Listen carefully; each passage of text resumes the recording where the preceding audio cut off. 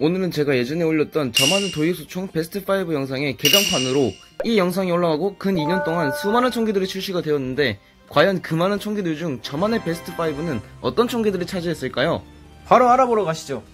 먼저 다섯 번째는 콜드워의 악몽이라 불렸던 콜드 파마스 FFAR 1입니다.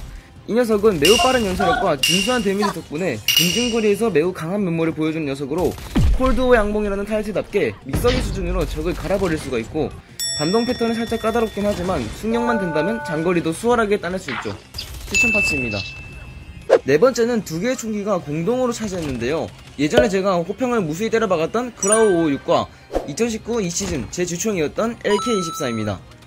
우선 그라우 556과 LK24 두 총기 모두 중장거리에 강력한 총기인데 여기서 차별점이라면 그라우 556은 연사력이 어느 정도 빨라서 근접 대응이 가능하다면 LK24는 연사력이 다소 느려서 근접전에서는 선제 공격을 하지 않는 이상 다소 불리한 포지션을 가지고 있습니다.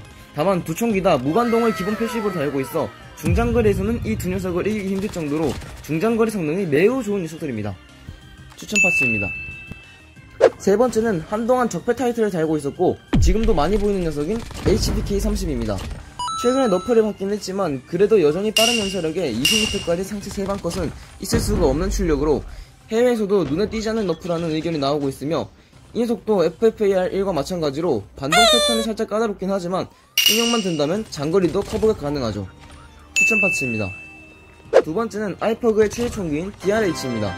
이 녀석도 비교적 최근에 헤드 데미지 배수 감소라는 nerf를 받았었지만 여전히 근접은 물론 장거리에서도 미친 화력을 보여주는 녀석이죠.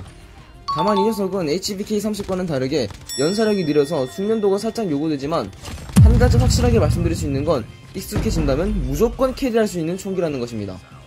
추천 파츠는 이었습니다. 마지막 첫 번째는 제 첫 신화 스킨이자 콜오브듀티 모바일만의 첫 번째 오리지널 돌격 소총인 타입 19입니다. 타입 19는 적당히 빠른 연사력과 준수한 데미지, 거기에 무반동을 지니고 있어 근거리는 물론이고 장거리까지 우수한 출력을 뽑을 수 있는 녀석입니다.